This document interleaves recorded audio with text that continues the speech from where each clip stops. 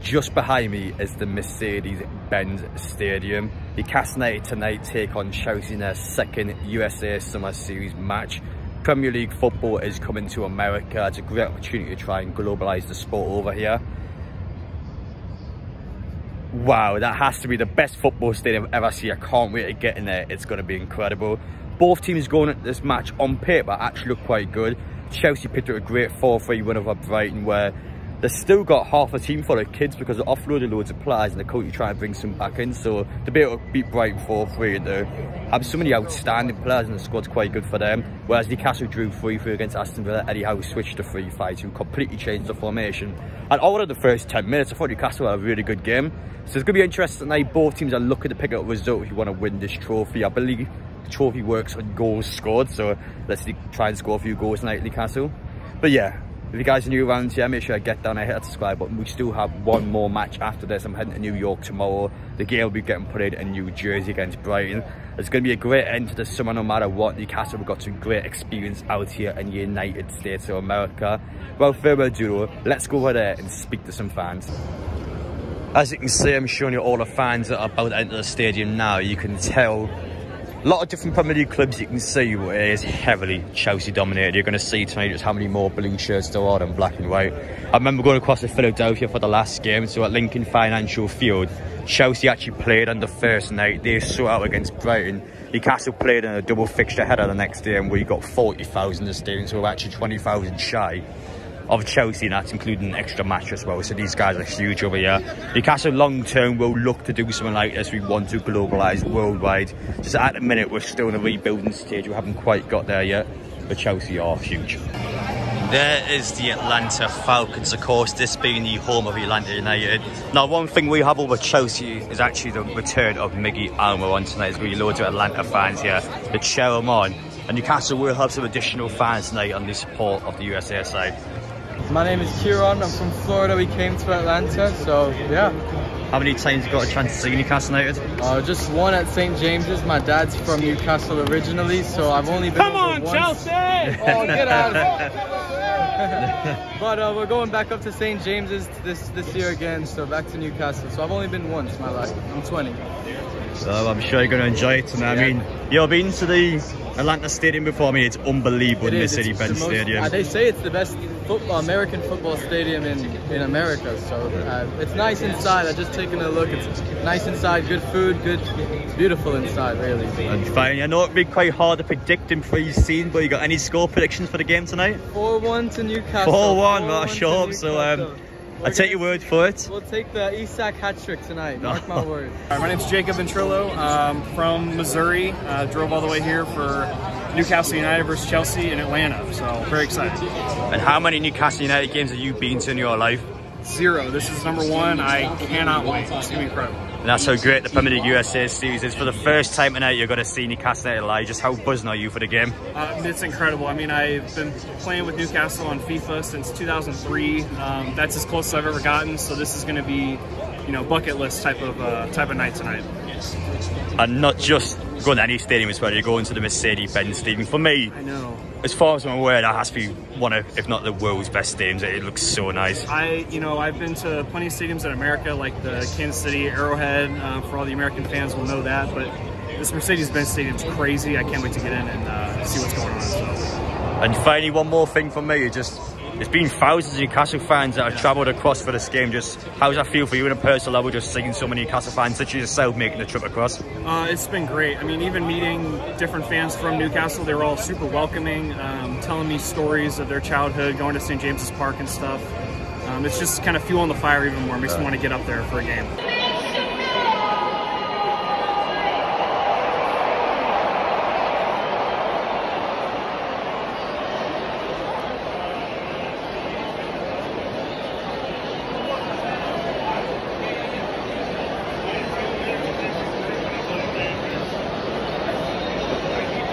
The score is currently Brentford nil, Brighton 2 in the first match.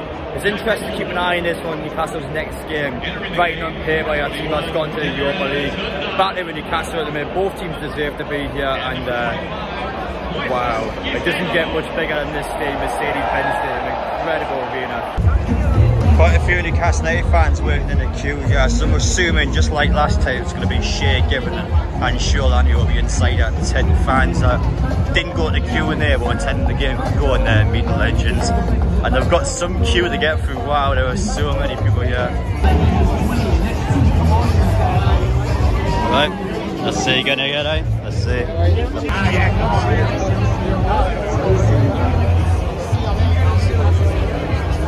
great lovely reception of Downhillers returning to the Mercedes-Benz Stadium after all these years. They're going to Atlanta fans. They miss him.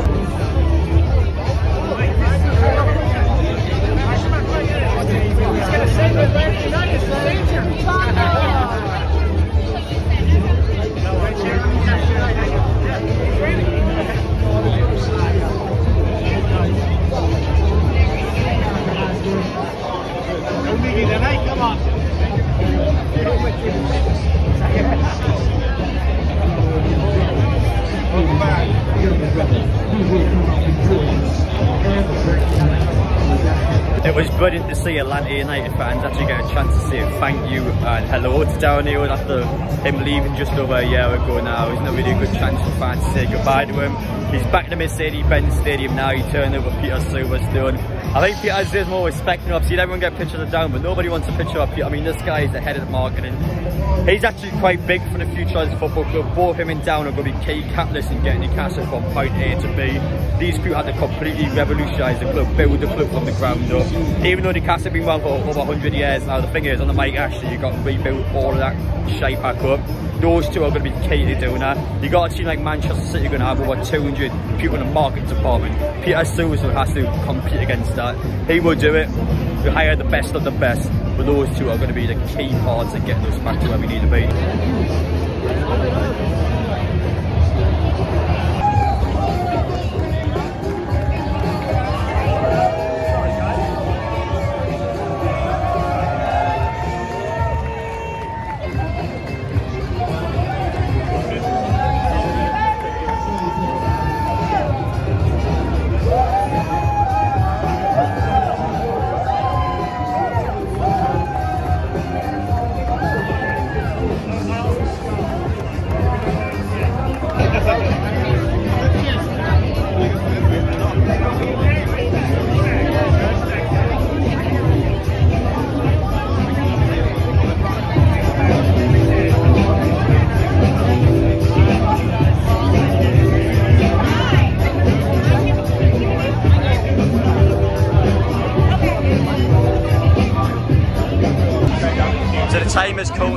7.15 in USA, so just under one hour before kickoff. Let me show you how many Newcastle fans are actually trying to get a picture with Shay Given, and Shola Ameobi and Steve Harper. So we're going to walk back to the queue now. You've got Chelsea fans here want to get a picture of our lads now.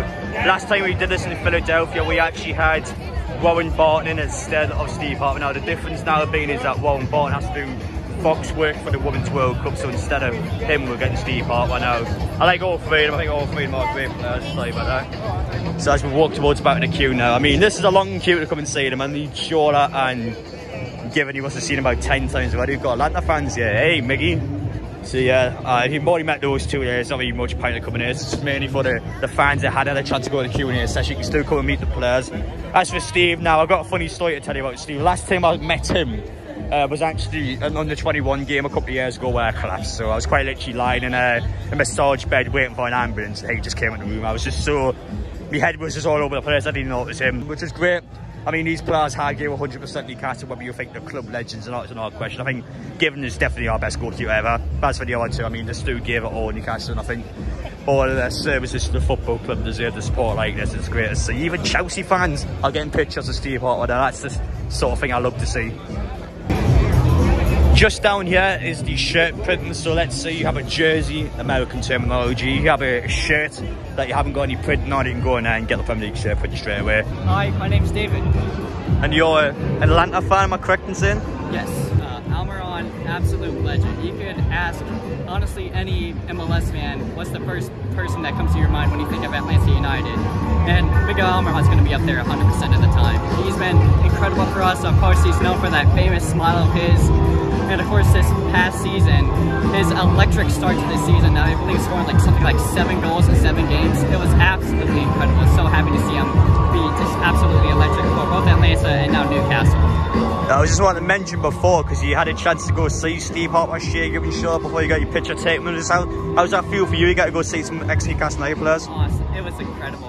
Of course, those guys were probably a bit before my time because uh, it was when Miguel moved to Newcastle It was when I started watching matches. But of course, looking into the history of the club, I know how big Shola Ameobi is and his brother, and I know how big Shay Given is, being absolute legend for the club. So it was really shocking and really, I'm really awestruck still. I just want to ask you one more question. Uh, you were telling me before this is actually your first ever Newcastle United match, and I just, how's that feel? Going to be going inside the Mercedes-Benz Stadium watching the Newcastle United play? Well, it's not my first time in the Mercedes-Benz Stadium. Obviously, I watched Miguel Almiron play here before, but to be able to see Premier League teams, which possibly may be my only time in my young life so far, it's incredible. So maybe later in life when I get a passport and when I get a bit more funds, I would love to see a Newcastle home game. But that's plans later in life, but I'm just happy to really see them now. It's awesome. Full time in the first game at the Mercedes-Benz Stadium, Brentford nil, Brighton 2. I'm looking forward to playing Brighton the next match. I think that's going to be a real tester for us, a team that's looked quite lively so far. And speaking about the Premier League, I have to say, the fan zones have done the Americans been spot on. They've given so much effort, and I think for the Premier League actually trying to get more people involved in football over in the US and there, they've done a real good job here. Someone such as myself that's travelling across, I'm totally rewarded for it. They've done so much, for Newcastle they have done so much for our fans, and uh, yeah, it's definitely been worth money to come over. It's been such an unforgettable experience. But I thought I'd credit the Premier League where credit is due. But let's head inside the stadium now and find my seat. Newcastle you've got the legends inside the tent, Brighton. You've got the cardboard cutouts again, get your head through the gap.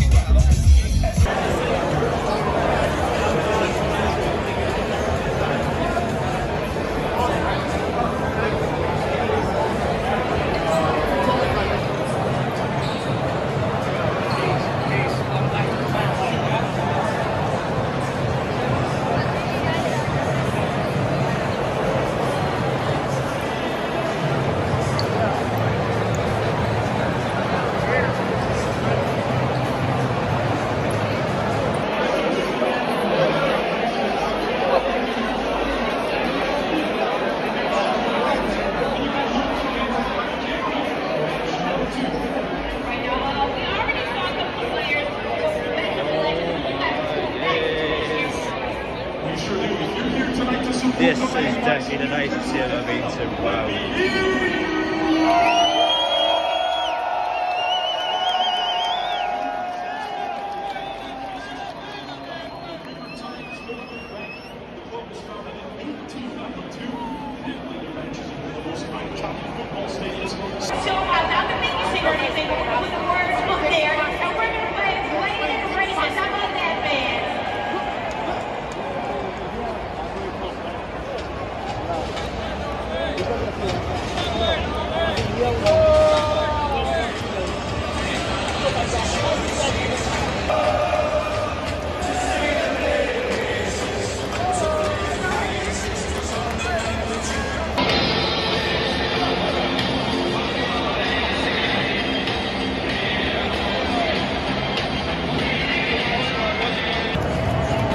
At we've got war flags in the house, even in America, I hear.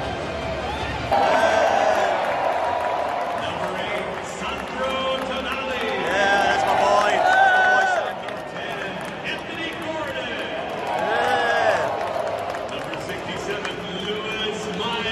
That's with the first a, full-fledged squad with the exception of Lewis Miley. He's given the full pot a chance. Ian and Miley's been so good so far. Get ready for this reaction.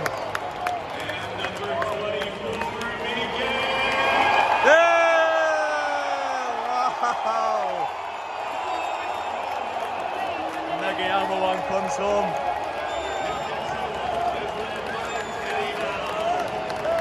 Whew. That's a crazy ovation, by the way.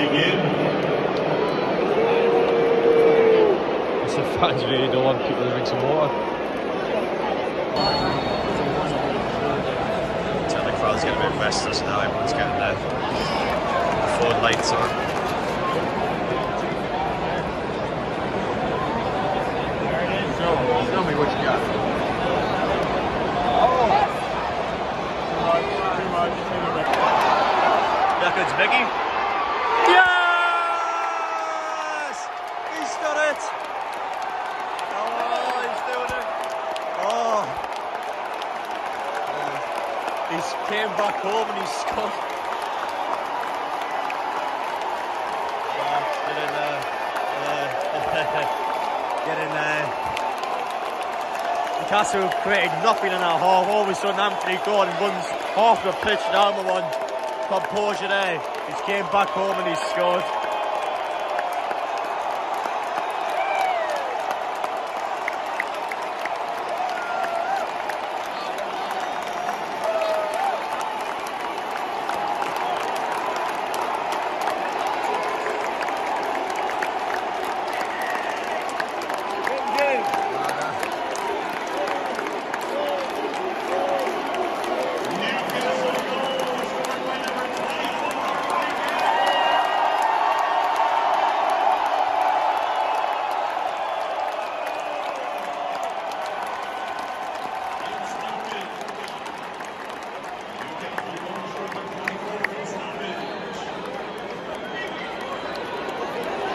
Uh, last kick and a half was an arm one equaliser. He actually did it.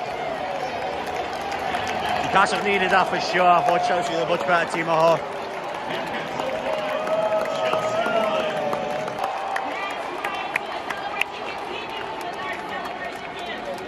Half time, Chelsea won, Newcastle won. Miggy Almiron has scored again at the Mercedes-Benz Stadium. What a moment that is for him. Newcastle, to be brutally honest, that was our only real chance the half. Anthony Gordon's made that goal by the way. The guy's right from the halfway line. Almiron, to be fair, has a lot to do on the ball. Great composure, great touch, great finish. Newcastle, I mean, we haven't been bad, I will say. I don't think we've been bad at all, but I definitely think Chelsea have been the better team now. That Jackson guy, that strike, I've never watched him play before. Scored his goal, real great composure, and he's looking absolutely menace the entire half. Chelsea just seem to be the better team, in my opinion. I think Newcastle will be a good goal so far. I'm intrigued to see back to the second half, especially when both teams start rotating. I'm looking forward to seeing how we get on. But honestly, though, it hasn't been the worst thing in the world. I think Chelsea probably have been the better team, though, I give an honest opinion on it. What is this, guys? Like, it's patting the cap on and he got like bounced the, the ball that he had. This is so dumb. The Blues are headed all over again. Put some shoes everywhere. Stand your toes, guys. It could come to you. Couple of touches, she flicks it on. The hats are providing no Newcastle makes some noise. Yeah! Chelsea tonight. Make some noise.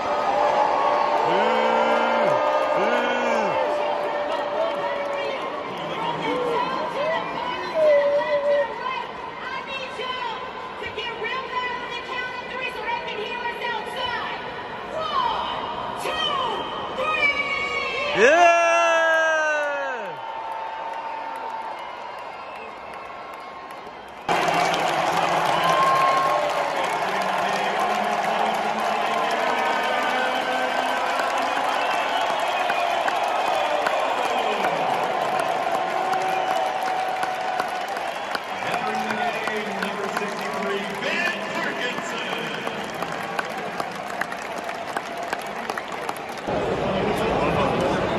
tonight's attendance, a sellout crowd of 70,789.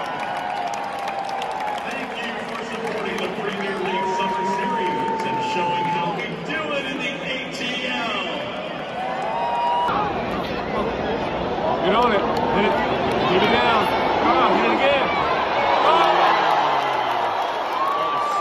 Saying by the way, Nick has had the game of his life. It's honestly made so many good saves. Oh, Stu Cleddick, come on, boys. That's going to be the final kick. Bills among the stadium for whatever reason, I don't know why. I mean, Howe put all the kids on the pitch, he tested them, he put the pressure on them, and to be honest, Chelsea obviously had more chances. Nick Pope made four or five class saves at half, but honestly, I think Newcastle were got a lot of positive takeaway again. Drew FC so far in the Premier League USA series, but honestly, again, promising stuff.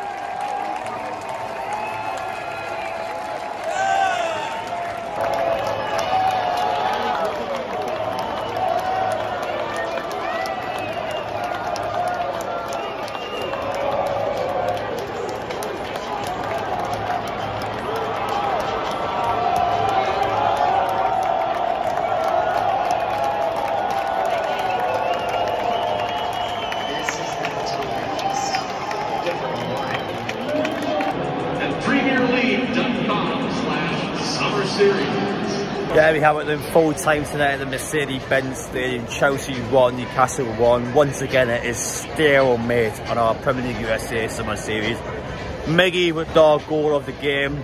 Definitely the, the star moment of the game, I would say. Second half, I mean, I had a chance to speak to a lot of Newcastle fans after the game. And I don't think we can honestly fairly judge that second half because, well, from the 60th minute onwards, Eddie Howe just started bringing all the kids on. He wanted to put them under pressure, wanted to give them a good opportunity and a full I mean, a stadium full of over 70,000 fans, you wanted to give them an opportunity of a lifetime to, to play in a high climate over in the USA. Give us some real experience and for the most part, I thought we did alright. Nick Pope, I thought was my man of the match, even though Miggy did get it because of the Atlantic connections, but Nick Pope, four or five class saves in that half. I mean, some of the saves he's making was actually ridiculous, like they were so good. Definitely for me to start, but uh, I mean, for if it is like that during the Premier League season again this season, I'm going to be excited because, well, there's a kind of goalkeeper that does winning matches. It's just so good. And for me, that's kind of what you want to see for him. That's for the rest of the team. No apology, that's Bielsa for so uh, but thoughts of killing a bit.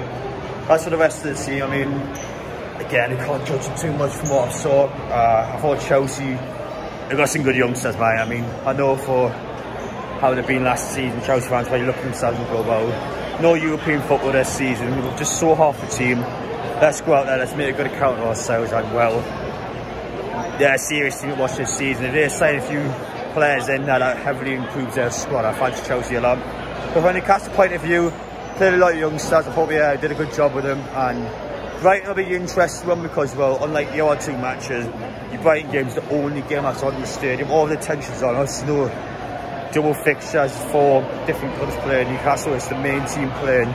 We're going to be ready for it. We're going to be real to go and let's finish off our win. I mean, we win the last game, unbeaten the Premier League USA summer season. I don't think anyone's going to complain about that. But we have to try and get something going here. I don't know what the hell this is here, by the way. So, uh, it's the background there, because like, there's screaming on there, other families. I just don't know what's going on at this point.